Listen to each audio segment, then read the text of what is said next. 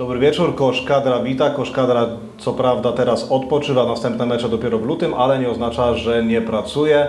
Dzisiaj rozmawiamy z Jakubem Niziołem, na co dzień zawodnikiem WKS Śląska Wrocław, ale już też koszykarzem, który ma za sobą i debiut i parę mm, meczów w reprezentacji Polski seniorów. Dzień dobry, dobry wieczór chyba właściwie. Dobry wieczór, no już taka godzina trochę późna, więc dobry wieczór jak najbardziej na miejscu. Będziemy rozmawiać o reprezentacji Polski, o koszkadrze, e, chociażby o tym, co wydarzyło się w lipcu, co wydarzyło się w sierpniu. Wracasz pamięcią jeszcze do tego, co działo się w Gliwicach? E, No tak, to był taki mój e, pierwszy poważny turniej z reprezentacją i od razu ten bilet na kwalifikacje do Igrzysk Olimpijskich. Więc y, naprawdę świetne przeżycie, mimo tego, że gdzieś tam y, te moje minuty, moje granie nie było aż y, takie, jakbym tego chciał. Natomiast drużynowo i reprezentacyjnie wiadomo, że każdy gra po to, żeby dla tej reprezentacji być, zaistnieć. I naprawdę to jest jedno z takich fajniejszych wspomnień w moim życiu. A powiedz, bo ja się teraz trochę przyczepię tego, co powiedziałeś. Nie przyczepię w sensie negatywnym, tylko za, zahaczę o to. Powiedziałeś o nie takie minuty, jakbym, jakbym chciał. To jakie byś chciał? Jak, jak, gdzie sięga Twoja ambicja? Znaczy, no może trochę źle to ująłem, bo wiadomo, że każdy koszykarz, y, każdy ma jakieś ambicje i chciałby pomóc na tyle, wydaje mu się, że może pomóc.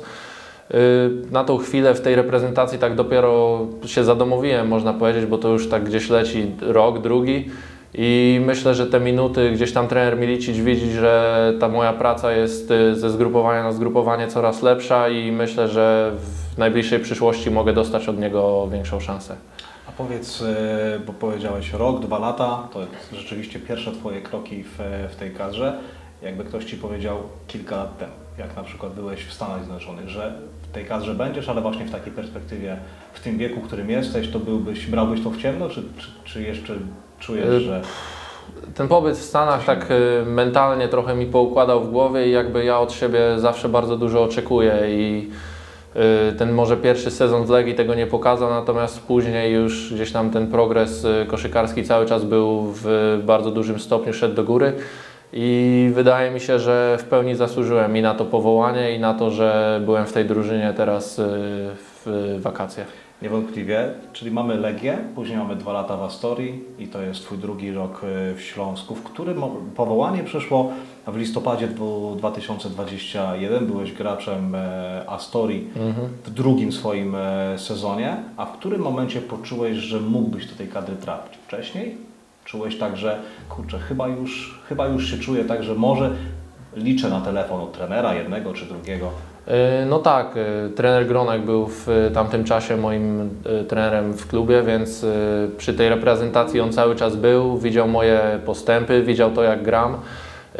To zaangażowanie też, które w tamtym czasie w Astorii dawałem na boisku pozwoliło mu powiedzieć trenerowi Miliciciowi, że to jest ten czas, że możemy spróbować Nizioła, zobaczymy jak będzie wyglądał. Wiadomo, że to ten pierwszy raz nie jest zawsze najlepszy, no bo ten stres, yy, wiadomo, ale trener Gronek mi zaufał, yy, podzielił się tym zaufaniem z trenerem Miliciciem i myślę, że w niedalekiej przyszłości może to zaprocentować jeszcze bardziej niż do tej pory. Pamiętasz swój debiut z Izraelem?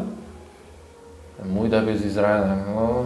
Czy pamiętasz ten mecz? W On był w Lublinie chyba, czy w, nie, on był w Nie. Izraelu. Był na wyjeździe. No to właśnie pokazuje, jak Tak, pamiętam. pamiętam, pamiętam. Podałem do Tomka Gielo, miałem jedną asystę. 5 minut, jedna Tak, asysta. tak, tak, więc Co pamiętam. pamiętasz z tamtego spotkania? Co pamiętasz jeszcze? O. Pamiętasz jakieś takie rzeczy? Nerwy na pewno, bo no wiadomo, to był mój pierwszy występ w reprezentacji i tak nie wiedziałem, co mogę, czego nie mogę i tak wyszedłem na to boisko, byłem trochę przestraszony, strach w oczach, trener to widział, ja to wiedziałem, natomiast no, te 5 minut to nie, nie za wiele da się zrobić, ale ta jedna asysta do dzisiaj cieszy. A powiedz Kuba, y, pamiętasz jakiś taki mecz przełomowy, w którym poczułeś się, mm, poczułeś, że wnosisz do kadry coś, coś fajnego? A, Czy, pytanie podchwytliwe, czy to dopiero przed Tobą? Wydaje mi się, że to dopiero przede mną. Nie pamiętam w tym momencie dokładnie, ile miałem najwięcej punktów w reprezentacji, ale wydaje mi się, że w Lublinie mogłem mieć jeden taki dobry mecz. Ale, to, Po, po, napisy się nie pojawiły. masz tam gdzieś ten? Nie mam. W tych, w tych swoich zapiskach tego nie mam. Ale wydaje mi się, że w Lublinie był taki jeden mecz, że dobrze zagrałem i Ale no to, to tak, tak jak mówię, ta moja rola nie jest jakaś taka mega znacząca w tym momencie, więc y, buduję na tym, co mam. Te minuty, które dostaję, staram się wykorzystywać i jeśli trener będzie widział dla mnie szansę, to jak najbardziej dla mnie reprezentacja Polski to jest y, marzenie. No. A powiedz, przytoczę teraz y, cytat z marca ubiegłego roku. Z Twittera? Nie, nie, nie. Ja wiem, że ty robisz Twittera, ale nie. Zostawimy tego Twittera. Dobra, dobra, e, dobra. Zostawimy tego Twittera na, na boku. Olbrzymie wyróżnienie, ale nie lubię o sobie mówić kadrowicz. Tak powiedziałeś. Tak będzie można mówić, e, jak zaistnieje się w reprezentacji, jak będę grał regularnie, mm, jak będę miał jakąś taką większą rolę. To, to nie jest już później cytat dosłowny, ale to pierwsze zdanie. Nie lubię mówić o sobie kadrowicz. Tak, bo, półtora roku temu. To jest tak samo jak y, o tym kiedyś też chyba rozmawialiśmy, jak z Andrzejem Plutą rozmawialiśmy, że ktoś tam grał w Eurolidze, ktoś tam, na przykład ja gram teraz w Eurocupie. Ja nie uważam, że gram teraz w Eurocupie, bo gram w Polsce. Okej. Czy to ma, nie wiem, czy to ma trochę sens. No, jak, no, no, jeśli wyjadę za granicę do Eurocupu, to wtedy będę mógł pełnoprawnie powiedzieć, że gram w Eurocupie. Takie jest przynajmniej moje myślenie.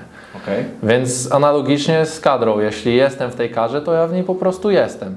A żeby być, według mnie, nie, nie oceniam, broń Boże, nikogo więcej, kto... Twoja optyka. Tak, jeśli zaistnieje, dostanę minuty i będę ważną częścią tej reprezentacji, to wtedy będę mógł o, sobie powiedzieć, że jestem yy, kadrowiczem. A nie czujesz trochę, teraz zapytam Cię trochę jak kolega kolegę, nie, nie czujesz tego, że sam umniejszasz swoją rolę?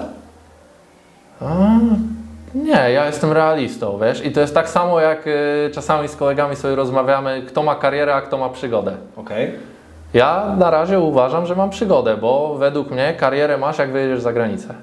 Okej. Ale to jest moje myślenie, każdy ma prawo do swoich poglądów i ja wiem na co mnie stać. y, Może inni ludzie myślą, że mnie na to nie stać. Ja wiem czego jestem warty, wiem czego chcę od życia i od swojej dotychczasowej przygody z koszykówką. I jak to się rozwinie, to zobaczymy w niedalekiej przyszłości, mam nadzieję. Czyli jednak przygoda. Nie- Na razie, na razie tak. Zobaczymy, czy na przygodzie się skończy. Byłeś e, w Stanach.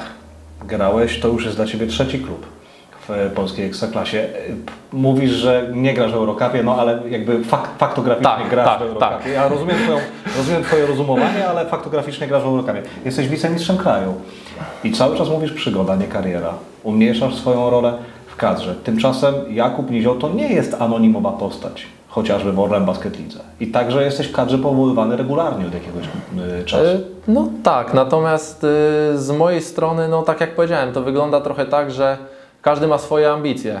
I jeśli dla kogoś na przykład wystarczy, że jest, nie chcę nikogo teraz obrazić, broń Boże, że jest y, zawodnikiem topowym w drużynie X, powiedzmy z drugiej ósemki tabeli, no to ty to jest, jeśli to jest Twoja rola, o której zawsze marzyłeś, to jest spoko. Natomiast dla mnie gdzieś tam te cele, te moje jeszcze marzenia yy, są na trochę wyższej półce niż yy, jestem teraz i no zobaczymy, co przyniesie przyszłość. No to pogadajmy o tej półce. Jakie to, gdzie, gdzie te marzenia leżą? Nie, bo potem zrobicie tak, że będzie, będą artykuły Nizioł jedzie za granicę, Nizioł nie wyjedzie za granicę. Ja, ja czegoś takiego nie zrobię, ja czegoś takiego nie zrobię, ale wiesz dobrze jak media działają. E, Tak, Pan tak. Leszpasek powiedział o Tobie, że przed Tobą wielka kariera. Był jednym z pierwszych, pierwszych osób, która powiedziała na głos Twoje nazwisko w takim kontekście. Więc ja pytam Ciebie, no gdzie leżą Twoje marzenia, chłopie? Gdzie jest, gdzie jest ta półka z marzeniami? Moje marzenia kiedyś leżały w NBA, tak jak każdego młodego chłopaka, natomiast y, z biegiem czasu z, po prostu zdajesz sobie sprawę, że niektóre poziomy są dla Ciebie nieosiągalne. Natomiast wydaje mi się, że Eurocup, solidna drużyna w Eurocupie to jest taki mój cel, bo w sumie nie źle powiedziałem. Chciałbym grać w Eurolidze, jeśli kiedyś zagram, to wrzucicie ten materiał jeszcze raz. Jeśli nie zagram, to więcej osób go wrzuci. I tak to będzie wyglądało. No, na tą chwilę jestem zadowolony z tego miejsca, w którym jestem, bo Śląsk Wrocław no to, to jest mój dom. To, to jest moja rodzina, tam się wychowałem, y, w tym klubie zaczynałem swoją przygodę i jestem bardzo szczęśliwy z tego drugiego miejsca w tamtym roku, natomiast ten niedosyt y, gdzieś tam pozostaje. A w reprezentacji, no tak jak powiedziałem, chciałbym, żeby te minuty były znacznie większe, a przyszłość y, zweryfikuje to, czego ja chcę. Mhm. E, Mam wrażenie, że takim chyba jesteś też trochę człowiekiem, który patrzy przez pryzmat tego, co ma, przez, przez pryzmat niedosytu, że, że jakby cały czas jesteś chyba trochę głodny tego, co, co dopiero ma nadejść. To jest właśnie też taka trochę amerykańska mentalność, że po prostu ja nie lubię, nie lubię być usatysfakcjonowany w tym miejscu, w którym jestem. Jakby zawsze próbuję dążyć do y, bycia trochę wyżej. Rzucasz 10 punktów, rzuć 15. Zrobisz 3 przechwyty, zrób 4. I tak samo jest y, w życiu prywatnym. Osoby, które są y, gdzieś tam, y, nie wiem jak się mówi, successful, takie Usatysfakcjonowany tym, co mają, do, czy, dokładnie. odnoszące sukces. Do, Od- o, odnoszące sukces. Też nigdy nie zatrzymują się na tym, co mają, bo po prostu chcą więcej. I ja jestem takim człowiekiem, który zawsze od siebie y, wymaga po prostu więcej niż to, co daje w danym momencie. Powiedziałeś, że będą wycinać fragmenty z wywiadu, będą się śmiać z ciebie. Powiedziałeś przed chwilą, że wtrąciłeś słówko w języku angielskim. Tak, Za tak. chwilę ci zarzucą, że spędziłeś 4 lata w Tak, Stanach, tak, a już jestem a, amerykański jestem. Amerykański. E, wracamy, wracamy do tego mm, e, tematu. Co lubisz najbardziej w swoim charakterze? E, chyba taką nieustępliwość. Na przykład akurat teraz siedzimy we Włocławku i ja wiem, że jutrzejszy mecz, choćbym miał wyjść z tej hali mistrzów bez nogi, to postaram się zrobić wszystko, żeby moja drużyna wygrała. Nie wiemy, kiedy ten wywiad będzie opublikowany i nie musiałeś zdradzać, że jesteśmy we Wrocławku. No ale dobrze, korzystamy z tego, że ja też tutaj mieszkam i się spotkaliśmy i, i możemy, możemy pogadać, ale już naprawdę chyba nie będziemy rozmawiać o, o tym wrocławsko-wrocławskim pojedynku. Nie, nie, nie, to jest. y, E, Nie chodzi dosłownie. Chodzi o to, że ja jestem taką osobą, która na przykład jak w, w innej drużynie gra zawodnik, który jest na mojej pozycji i oni mówią, że jest ode mnie lepszy. Dla mnie to jest znak, że ja muszę zrobić coś, żeby udowodnić sam sobie przede wszystkim, że jestem od niego lepszy. I to chodzi w, w każdej płaszczyźnie życia. Czy gram z kolegami w gry wideo, czy idziemy na bilarda, czy na parkiecie koszykarskim, to dla mnie nie ma większego znaczenia. To tu masz teraz trudne pytanie ode mnie, O, bo to ja rywalizujesz, rywalizujesz kadrze z Mateuszem Politko. Łamą bardzo często na treningach to było. U, W gierkach 5 na 5, no to jest top of the top. no jest. I co? No, Mateusz wygrywa większość razy. Nie ma co tu ukrywać. No, Mateusz jest y, zawodnikiem no, przerastającym poziom ligi, w której aktualnie gram. W reprezentacji jest liderem od wielu, wielu lat i myślę, że przez następne parę lat to się nie zmieni, więc. Y, ale jest do czego dążyć. Okej, jest do czego dążyć. Oglądasz Euroligę? Oglądam. Ale Partizan, czy tak po prostu oglądasz Eurogę? Yy, zacząłem się trochę bardziej w tym roku interesować niż w latach poprzednich, też ze względu na to, że Mateusz podpisał w Partizanie i Olek w Panetu Najkosie. Okej. Ale ogólnie zacząłem oglądać więcej koszykówki i też mi się wydaje, że ma to trochę przełożenie na moje poczynania A boiskowe. to dlaczego? Sk- skąd taka e, energia, żeby oglądać jej więcej? Chyba dorosłem do tego. Okej, Artur Borus był takim e, bramkarzem, e, piłkarzem, który nie oglądał e, zazwyczaj swoich Mhm. meczów. Ja też znam koszykarzy, nawet przewodny przez Ciebie Włocławek, we Włocławku mieliśmy koszykarzy, którzy nie oglądali koszykówkę, koszykówki. No chyba jednak trzeba to robić. No, trzeba, trzeba. Znaczy, znam takich i sam przez większość swojej przygody funkcjonowałem tak, że tej koszykówki nie oglądałem. Więc zobaczymy, jak przyniesie taka zmiana, może będzie coś na lepsze w mojej grze. Trener Igor Milicic ma takie powiedzenie, miał je, mm, jak pracowaliśmy razem tutaj we Włocławku, że mm, na, na to, jaką osobą jesteś, jakim koszykarzem jesteś, składa się szereg czynników i w ramach tego szeregu czynników, jeżeli możesz poprawić jakikolwiek procent, jakikolwiek detal, to trzeba to zrobić. A, dobra, okej. Y, No tak, y, i ja dodałem to oglądanie tych y, meczów koszykarskich. Z trenerem Gronkiem taką fajną anegdotę mamy. On zawsze o 11 przychodził na trening. Wszyscy tam jeszcze zaspani, zaklejeni. I trener Gronek się zawsze pytał, ile meczów już dzisiaj obejrzałeś? Mówię, trenerze, wstałem 20 minut temu, a trener Gronek już trzy kawy wypite i mecz Euroligi obejrzany, więc y, I pewnie drugi mecz pocięty już jakiś. Tak, tak, tak, tak. Nie, nie, nie ciął tych Tak. jako trener e, główny. Co czułeś, jak dostałeś e, telefon? Nie telefon, chyba wyczytałem gdzieś, że to było powiadomienie, tak? Odpaliłeś telefon i powiadomienie, kadra, kadra, jesteś powołany, jakieś gratulacje. Tak, siostra mnie obudziła w ogóle telefonem, zadzwoniła do mnie i mówi gratulacje. Ja mówię czego? I ona mówi to spójrz na telefon. I odpaliłem ten telefon, tam już nie wiem, z 30-40 powiadomień i no takie też jedno chyba z lepszych uczuć w moim życiu. Kto się bardziej cieszy? Ty czy tata? O, to trudne pytanie, bo ja wiem, że ja się cieszyłem, ale wiem, że mój tata się nie przyzna, że się cieszył. Nie przyznam. Nie. Dlaczego? No to takim jest człowiekiem. On się, o, ja wiem, że on się cieszy, ale mi nie powie tego, że się cieszy. Myślałem, że powiesz, że nie wiem, łza mu spłynęła, czy Nie, to broń Boże. Mhm. Nie, nie, nie, ale ja wiem, że tata jest ze mnie dumny, chociaż y, czasami tego nie powie lub nie pokaże, ale ja wiem, że on obserwuje wszystkie mecze i się cieszy z tego, co aktualnie robię na koszykarskich parkietach i dla mnie to też jest taka trochę y, taki powód do dumy, bo wiem, że mój tata grał w koszykówkę, W nie zagrał. nie zagrał. Ja pamiętam twojego z parkietów, pamiętam go jako przeciwnik wrocławskich drużyn, ale rzeczywiście w kadrze nie, nie Mhm. było mu dane grać. Dokładnie, więc y, nie chcę mówić, że już go przerosłem, bo do tej pory nie wygrałem nim, z nim w konkurs rzutów wolnych. No coś ty? No to tam już wiadomo, jeden na jeden to już nie te, nie te czasy, ale w rzuty wolne nie ma szans. To trochę jak Andrzej Junior przegrywa z Andrzejem Seniorem w trójkach. Ta, dokładnie tak samo, dokładnie tak samo. Czyli tata był dumny, ale tego, ale tego nie, nie mówi. Mówi między słowami, niech, niech będzie tak. Niech będzie taki kontekst. Tak. A powiedz, y, bo, czy nie, nie chcesz, nie, nie użyłeś tego słowa, że go przerosłeś, czy nie, ale mm, jakbyś przyrównał siebie mm, i tatę z Twoich obserwacji, takich dziecięcych obserwacji, to, to ile jest tego koszykarskiego Piotra Nizioła w Jakubie? Ja bym powiedział, że zero. Okay. Bo mój tata był taki, wiadomo, trochę Niższy. trochę niższy, trochę taki większy, y, umieśniony, grał na pozycji rozgrywającego, a ja jestem y, gościem, który tylko biega w jedną, w drugą. Y, Wsadza piłkę z góry, a mój tata nie wiem, czy kiedyś zrobił wsad, może się dowiemy. Ale Może zaraz y, napiszę do Ciebie SMS-a, ale Tak. nie, nie, nie masz takich, nie widzisz, zauważasz, nie wiem, sposobie poruszania się, jakichkolwiek takich spójnych elementów? y, nigdy chyba nawet na to nie patrzyłem w taki sposób. Zawsze w tą koszykówkę grałem i mój tata był zawsze dla mnie idolem. Mój pierwszy numer to był numer 4 po tacie.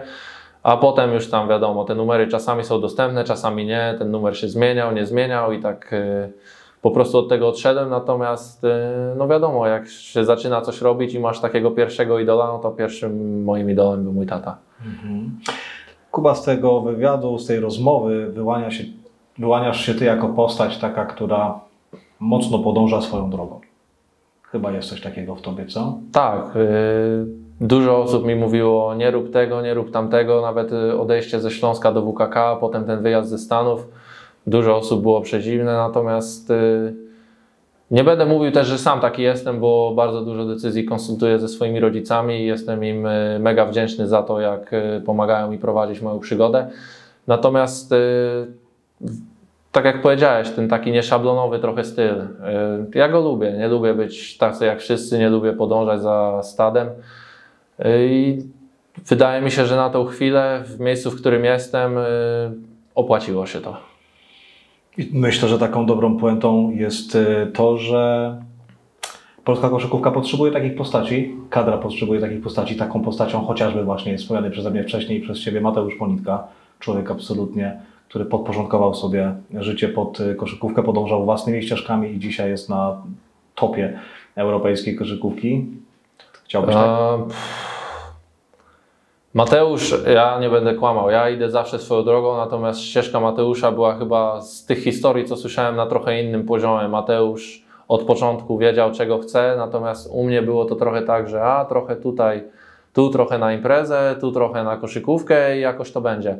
I właśnie te Stany Zjednoczone dały mi tą taką. y, jasność tego, czego chcę robić w życiu. No bo wiadomo, każdy potrzebuje pracy, każdy potrzebuje się utrzymać i no nie będę oszukiwał nawet ludzi przed kamerami, że najbystrzejszy w szkole nie byłem.